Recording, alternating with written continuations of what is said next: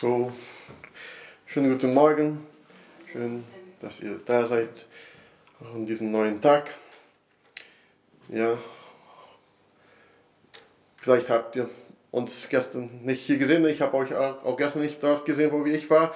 Aber ja, wir haben uns euch vermisst ihr habt uns vermisst. Aber äh, ganz sicher, wir hatten jemand, der mit uns dort war und mit euch hier in der Gemeinde war. Ja, unser Gott, Jesus war da mit uns, ist immer da mit uns. Überall, ja, in jedem Ort, wo wir uns befinden, seine Gegenwart ist da. Und wir danken Gott dafür. Ich bitte zum Start, danke Vater, dass du, dass du unser, unser guter Vater bist, dass, unser, dass du da bist, wo wir sind.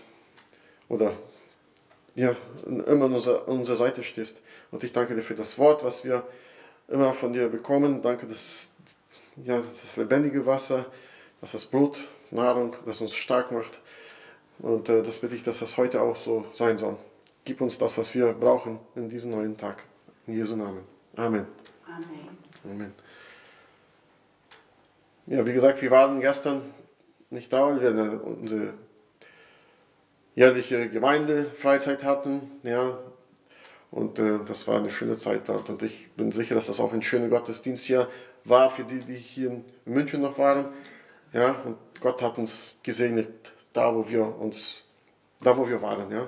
Und so ist Gott. Er ist überall da und er segnet uns. Er möchte uns segnen in alle, in alle Orte dieser Welt. Überall, wo wir sein Wort verkündigen oder wo eins oder zwei Geschwister in seinem Namen versammelt sind, da ist er auch er ist er dabei und er freut sich. Amen. Er freut sich immer dafür. Ja? Und äh, ja, wir hatten diese Freizeit und da war ein, jemand, der nicht so oft in einer Freizeit war oder vielleicht das erste Mal.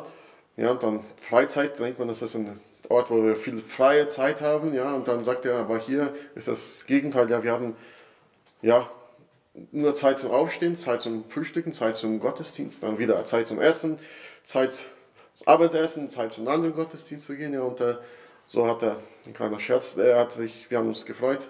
Ja, trotzdem hatten wir viel Zeit mit, äh, mit Gemeinschaft mit anderen zu haben. Hatten wir, äh, durften wir mit anderen zusammen äh, Sport machen, Volley spielen, zum Beispiel ja Fußball.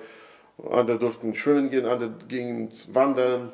Hatten viele Möglichkeiten hatten wir in den Ort, ein wunderschöner Ort und in der Natur zu sein. Und ja, das Wichtige war immer Gemeinschaft mit Geschwistern und Gemeinschaft mit Gott. Und äh, es war eine Zeit der Erfrischung für, für uns alle dort.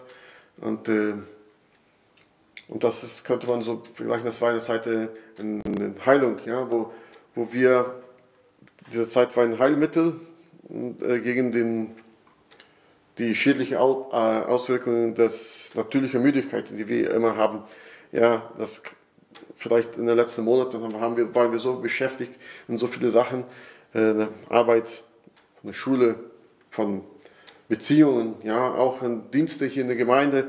Das macht unser Körper ein bisschen müde manchmal, aber und das, diese, dieser Ort, diese Zeit und diese Gemeinschaft, das war so auszugleichen, damit wir wieder Kraft äh, bekommen, um weiterzugehen in unserem Leben. Ja, wir sollen nicht stehen bleiben, wir sollen immer weiter vorwärts gehen.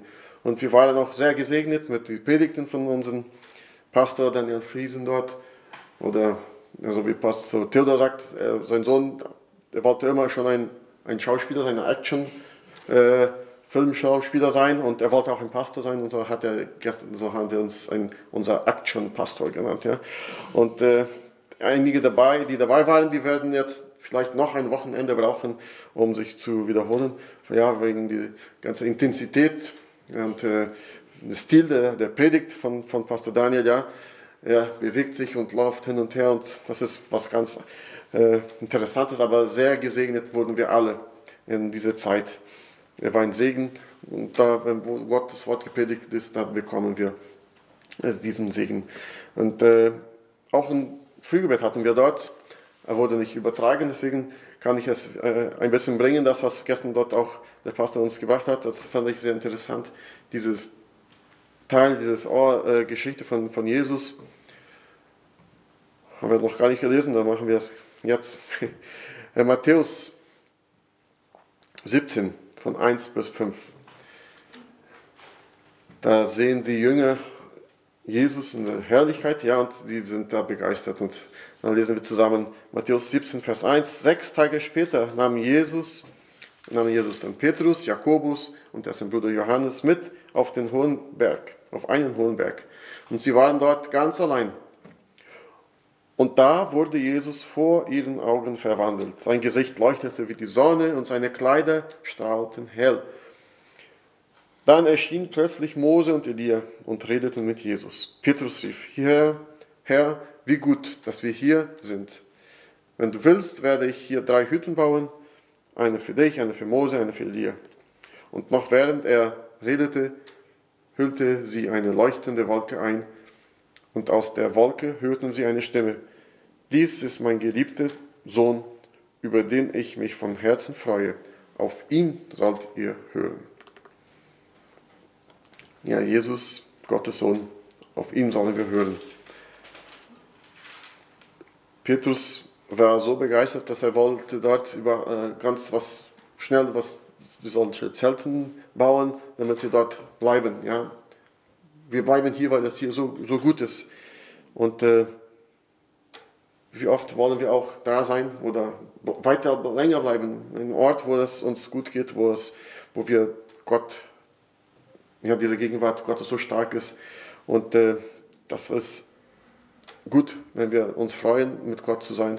Aber so wie Gott hier gleich, äh, Petrus war begeistert von alles, was da passierte, aber Gott kam gleich zum Punkt hier und sagte, äh, Jesus, ja, es ist mein Sohn, ähm, und äh, Jesus ist immer, Jesus steht immer im Mittelpunkt des Geschehens in unserem Leben, auch in dieser Situation. Auf Jesus sollen wir, müssen wir schauen. Unsere Aufmerksamkeit muss Jesus gelten. Ja? Er und seine Stimme sollen wir hören. Auf ihm sollen wir, ihm sollen wir folgen. Das, was er sagt, das sollten wir auch tun. Ja?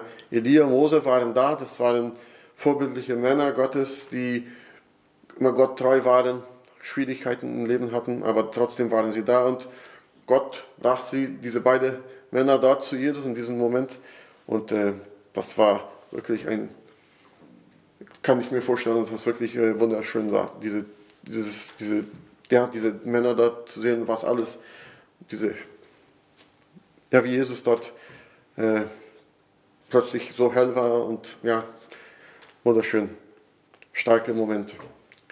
Und äh, diesen Ort, auf dem sie sich aufhielten, war auch nur für eine bestimmte Zeit. Ja, Jesus nahm sie dann gleich wieder runter und äh, zum, zum normales Leben. Ja? Und das, es wird nicht immer so sein, dass jeden Tag diese großes äh, äh Geschehen passieren wird in unser Leben. Aber das ist schön, wenn sowas passiert in unser Leben. Und diese Zeit sollten wir auch nutzen. Und äh, so war es auch wie eine Gemeindefreizeit, ist etwas Ähnliches, ja. Es ist nicht, was jedes Wochenende passiert. Es, es findet nicht jedes Wochenende statt. Aber das ist, wenn wir diese Zeit haben, diese kurze Zeit, drei Tage waren es, und das sind, waren so starke Tage, und da, da sollen wir uns nicht vergessen. Das ist alles, was Gott, was Jesus für uns dort in dieser Zeit getan hat. Und diese Gemeinschaft mit anderen Brüdern und Schwestern sein, ja, getrennt von der Welt, von allen Dingen, was hier passieren, alle Nachrichten, alles Schlimmes, alles Gutes auch, was wir äh, gibt äh, in dieser Welt. Aber wir waren dort getrennt und wir waren unter Geschwister und, und Gott, Gott war dort Gott war auch hier. Er ist überall, wo wir Christen uns versammeln. Und, äh, aber unsere Anstrengungen sollen auf den Montag konzentriert sein. Ja? Da, wo unser normales Leben weitergeht. Ja, unser Leben ist kein Rückzugsort, es ist ein, kann man sagen, ein Schlachtfeld. Ja? Jeden Tag haben wir Kämpfe und wir sollen vorbereitet sein. Das war so wichtig, diese Zeit, diese Gemeinschaft, dieser Ort. Und äh, Sonntag, ja, Gottesdienst ist nur ein Ort, wo wir uns dann wieder zusammenfinden, uns versammeln, uns treffen, um mit anderen Gemeinschaft zu haben wieder und um unsere Kämpfe zu teilen und unsere Siege ja, zu erzählen und sagen, oh, wie Gott gut war diese ganze Woche und war treu und hat mich geholfen. Und äh, das erbaut uns und das macht uns wieder stark, damit wir wieder eine neue Woche starten und mit dieser Kraft, Gottes Kraft gehen. Und diese Freizeit äh, war, kann man sagen, so ein Trainingszentrum für uns. Ein Ort, wo wir wieder erneut wurden, wiederhergestellt wurden, wo Wunden vielleicht von einigen behandelt wurden und äh, geheilt auch. Ja. Ein anderer Aspekt von dieser Geschichte in der Bibel ist, wo das sehr oft lesen wir, dass Jesus in einen Berg ging, in einen Ort, wo er getrennt war, wo er sich konzentrieren konnte, wo er beten konnte, wo er sich vorbereiten konnte für das, was vor ihm noch den stattfinden würde. Ja. Und äh, so war es auch für uns. Wir waren jetzt in diesem Ort, um uns zu vorbereiten. Ob, ob wir das wussten oder nicht, aber das war diesen, dieses war eine Ausrüstungszeit für, für jeden einzigen, der, der dort war. Und äh, auch Athleten haben auch diese Zeit, wo sie äh, in Trainingslager gehen, manchmal, ja, und oft gehen sie in Orte, wo hochgelegene Orte, ja, 2000 Meter, 2500 Meter, höhere sogar, äh, über den Meerspiegel. Und dort in dieser Höhe ist die Sauerstoffkonzentration nicht so hoch, ja, ist gering. Und das ist ein Schlüssel für diese Methode, für diese Trainingsart, was sie, was sie da möchten durchführen. Ja? Und ich lese hier, dass das eine körperliche Kondition, die körperliche Konditionierung besteht darin, dass die Widerstandsfähigkeit des Menschen, Körper zu erhöhen. Ja? Die, sind, die gehen zu diesem Ort, damit äh, der Körper gestärkt wird, indem er, ja, der, der, dieser Athlet in einer Umgebung mit wenig Sauerstoff gewohnt wird, sodass der Körper darauf reagiert und mehr rote Blutkörbchen produziert.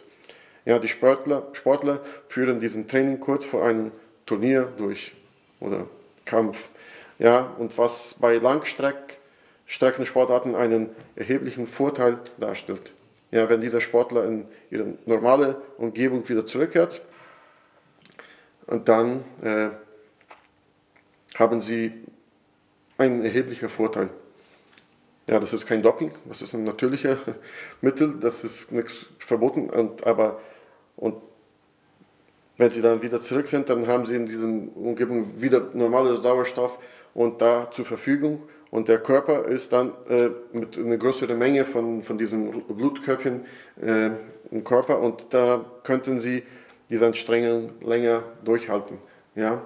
So, ist, war es auch, so ist es auch für uns, wenn wir in diesem in Ort uns versammeln, wo wir diese Tage äh, gemeinsam sind, wo dieses äh, intensiv mit äh, Gottesdienste, diese Zeit mit Gott äh, erleben, da werden wir gestärkt, da, werden, da wird unser Körper äh, gestärkt, damit wir wieder, wenn wir zurückkommen in unseren normalen Tag, normale Woche, normalen Leben, da, da haben wir dieser Vorteil, dass wir unser Körper vorbereitet ist, er wieder stark ist, um zu kämpfen, um zu, ja, unsere, unsere Seele, unser Geist ist vorbereitet für alle Schwierigkeiten, alle Ängste, alle Sorgen, dass wir in unser Leben schon manchmal erleben und wo andere auch Schwierigkeiten haben, damit wir sie helfen können in diese, diese Zeit.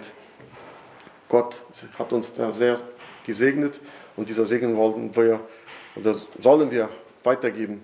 Ja, wir als Christen, wir helfen uns, wir sind da für, für unsere Bruder, für unsere Schwester. Und das ist so schön zu sehen, wie Gott uns immer wieder helfen möchte. Wie Gott uns stärkt, wie Gott uns führt, wie Gott uns leitet, wie Gott uns immer wieder Hoffnung gibt, dass wir nicht alleine sind, dass wir nicht schwach sind, dass wir nicht schlecht sind. Ja? Er ist da mit, an unserer Seite, steht an unserer Seite und er gibt uns alles das, was wir brauchen. Er ist unsere Hoffnung, er ist unser, unsere Kraft, er ist unser, unser Beschützer. Ja? Und darauf sollen wir uns festhalten und glauben und, und uns konzentrieren. Nicht die, die Schwierigkeiten sind da, aber wir sind mit Gott zusammen. Er ist mit uns. Der Heilige, Heilige Geist ist in uns und er sagt uns, er zeigt uns, wie oder was wir tun sollen in alle Situationen in unserem Leben. Und wir sind jetzt alle, oder wir sollen uns nicht nur jetzt in erwarten, dass jetzt nächstes Jahr eine neue Freizeit kommt, aber wir sollen jeden Tag oder jeden Wochenende immer bereit sein, um trainiert sein, um vor Gott gestärkt zu sein. Er ist da und, er will uns immer wieder helfen. helfen. Er, äh, er wird uns diese Kraft schenken und diesen Willen, ja, weiterzugehen mit Gott. Er ist unser Beschützer, unser Herr, unser Heiland, unser Retter die Hoffnung, die wir brauchen, um zu leben. Amen. Vater, wir danken dir. Wir danken dir für diesen neuen Tag, für diese neue Woche. Wir danken, dass du mit uns bist, dass wir ausgerüstet sind für alle Situationen in unserem Leben. In schwierigen Zeiten bist du da für uns und wir danken dir dafür. Wir danken, dass du uns diese Freude schenkst, dass du die, die Angst wegnimmst, dass du uns Kraft schenkst, dass du immer da für uns bist. Danke für diese Gemeinschaft, dass wir haben, wenn wir mit dir sind, mit anderen Geschwistern. Das sind schöne Zeiten und, das wollen wir auch immer, immer wieder machen. Wir brauchen es auch, damit wir andere Menschen segnen können und damit andere uns auch segnen, unser Leben segnen können. Und wir danken dir dafür, dass, ja, diese, dass du der immer bist, der, der Mittelpunkt bist. Jesus, du bist Gottes Sohn, Gottes geliebter Sohn. Und zu dir wollen wir immer schauen, zu dir wollen, deine Stimme wollen wir hören und deine Wege möchten wir gehen. Auch heute in diesem neuen Tag. In Jesu Namen. Amen.